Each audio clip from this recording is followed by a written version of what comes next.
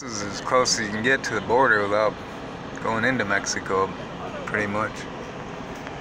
That's Mexico right there. Looking across from San Diego.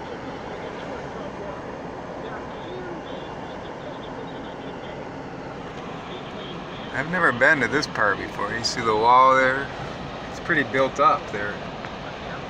Whereas this is just open land here. There's a creek down there, some trails.